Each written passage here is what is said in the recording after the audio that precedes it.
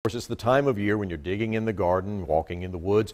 All of a sudden, you spot something slithering nearby. Even if you like snakes, it gives you the heebie-jeebies, Yeah, right? can, yeah. sure. Well, some folks are noticing a spike in snake sightings, and in a minute we'll explain how you can figure out what snakes are venomous in the upstate and how to identify them. But first, why you may be seeing more than usual.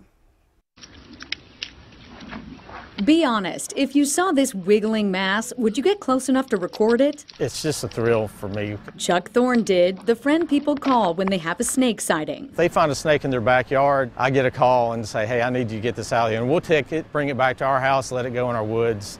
No big deal. Word of Cottonmouth brought us together on social media. Thorne called on by friends to identify this visitor to my own backyard this week. Thorne says it's no water moccasin, but a non venomous northern water snake. Generally, I'm right. I've been off on a couple, but The post showed I'm certainly not the only upstate homeowner who's noticed an early onset of snakes. Unlocking why, Wofford biologist Dr. John Moeller says the answer could be the warmer winter. If their body temperature is rising at a faster rate and getting up to a higher level earlier, that may speed up some of the processes of gestation and they may be giving birth at an earlier time. Do you think snakes have a bad rap? oh yeah, yeah, they have a terrible rap. Thorne, quick to point out, non venomous uh, snakes help keep the rodent population down.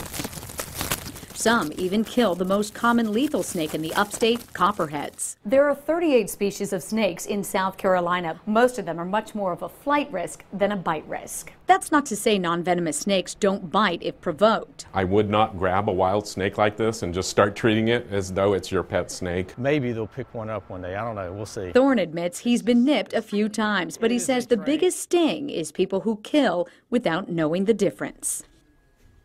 And that's the thing, it is really important to know what you're looking at there. As far as identifying the type of snake, anything with a rattle is venomous. Those types usually in the mountains more in our area.